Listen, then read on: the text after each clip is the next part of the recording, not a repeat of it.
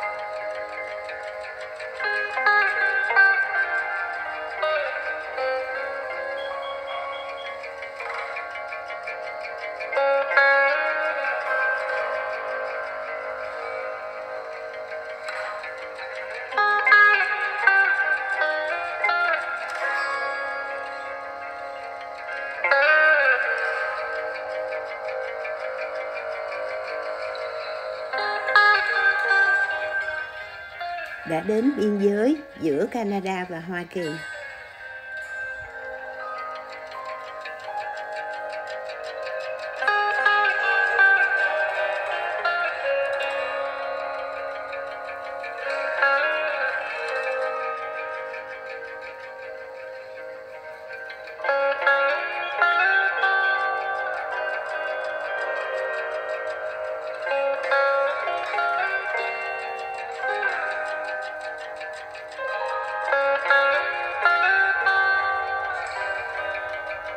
Maine là một tiểu bang ở vùng New England và đông bắc của Hoa Kỳ. Nó giáp với New Hampshire về phía tây, vịnh Maine về phía đông nam và các tỉnh New Brunswick và Quebec của Canada về phía đông bắc và tây bắc. Maine là tiểu bang nhỏ thứ 12 theo diện tích, dân số ít thứ 9, mật độ dân số ít thứ 13 và là vùng nông thôn nhất trong số 50 tiểu bang của Hoa Kỳ. Thành phố đông dân nhất ở Maine là Portland, trong khi thủ đô của nó là Augusta.